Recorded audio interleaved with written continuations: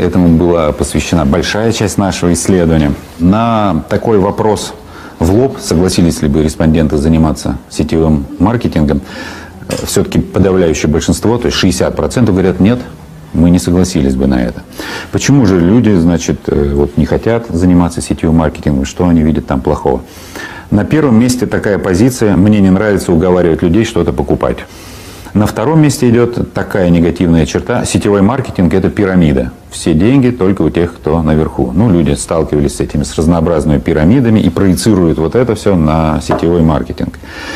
И на третьем месте тоже такое важное положение. Люди не верят, что на этом можно нормально заработать. Посмотрите на этот график. Если вы продолжите работать по найму, ваш доход будет всегда лимитирован окладом. Вы продаете ограниченное количество времени, получая за это ограниченное количество денег. Даже работая больше, вы вряд ли сможете рассчитывать на существенную прибавку. Для большинства людей в России заработанные таким образом деньги не покрывают и части потребностей нормальной жизни, а многим позволяют лишь сводить концы с концами. Есть ли возможность что-то изменить, зарабатывать значительно больше? Конечно, есть. При удачном ведении дел, постоянном спросе на ваш продукт или услугу, ваши доходы будут расти. Но тем не менее, как и в случае с наемным трудом, ваше личное время будет принесено в жертву процветания.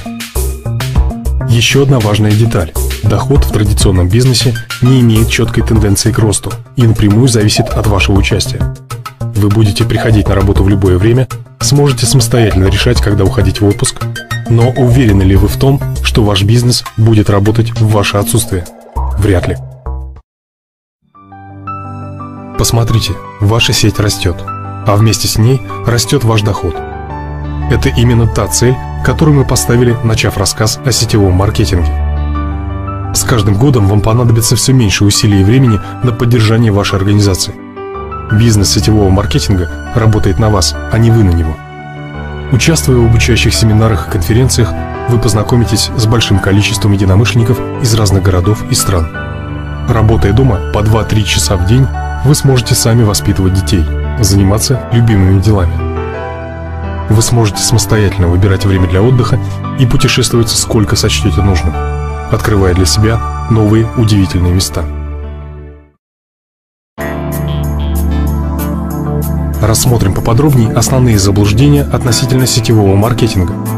Миф первый. Сетевой маркетинг – это пирамида. Зарабатывает только верхушка, конечные дистрибьюторы зарабатывают мизерные проценты. Развенчать этот миф нам поможет простое сравнение двух структур – традиционной и сетевого маркетинга. Как устроена традиционная корпоративная структура? Наверху всегда директор или президент корпорации. Ниже стоят его заместители, под ними старшие менеджеры, еще ниже менеджеры среднего звена и в основе рабочий и младший персонал. В чем смысл корпоративной структуры?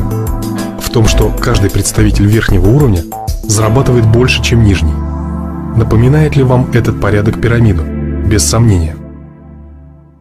Приходя в компанию сетевого маркетинга, вы начинаете создавать свою структуру продвижения товара, приглашая и обучая новых дистрибьюторов. Ваш доход складывается из товарооборота, который вы создаете лично, плюс процент с товарооборота, созданный вами сети дистрибьюторов. Система учета сетевой компании отслеживает вашу активность и выплачивает соответствующие вознаграждения. Уровень вашего дохода зависит только от ваших организационных способностей.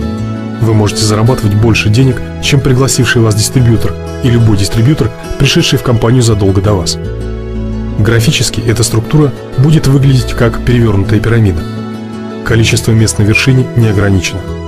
Если называть вещи своими именами, то к сетевому маркетингу в большей степени применимо понятие «эффективный менеджмент».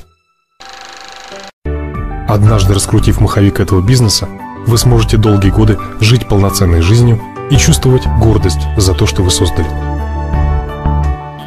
Чем хорош сетевой бизнес? Наверное, это может быть самое важное его преимущество. Это то, что ты когда-то, сделав один раз хорошо свою работу, ты можешь потом получать остаточный доход за эту работу. Те люди, которые приходят в мою организацию, э, я им говорю простые вещи. Подумай о том, э, сколько э, ты хочешь здесь заработать, какие тебе нужны деньги. У нас есть все для того, чтобы ты осуществил свои мечты. Но я хочу, чтобы ты работал. Хочешь ли ты? зарабатывать здесь, хочешь ли ты путешествовать здесь и э, хочешь ли ты вообще чего-нибудь в жизни. Это э, мотивация изнутри. Ты хочешь к чему-то. Это не, не движение э, как бы из страха, да, вот, либо ты потому что ты должен, а движение к чему-то, движение к тому, что ты хочешь. В этом э, бизнесе не достигают успеха по двум причинам. Либо его начинают, либо не продолжают. То есть успех, как дембель в армии, он неизбежен. Просто необходимо идти до конца. Вот самое главное нужно делать. Оставайтесь на старой работе, не уходите. Останьтесь, попробуйте. Это бизнес, который можно совмещать, его нужно совмещать. А вот если нет основной работы, то тем более нужно делать, начинать и делать. Вот ничего не теряет человек, абсолютно ничего. То, что здесь нет трудностей, это неправда, и никому не верьте, пожалуйста. Это очень большая работа. Но работа не физическая, а работа вот эта. Поэтому, когда говорят, что не получится, когда говорят, что поздно, вот я всегда отвечаю людям, давай попробуем вместе.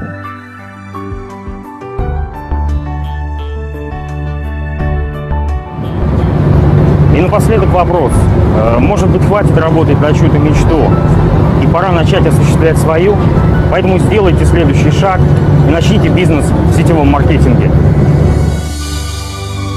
Пожалуйста, обратитесь к дистрибьютору, который дал вам этот фильм.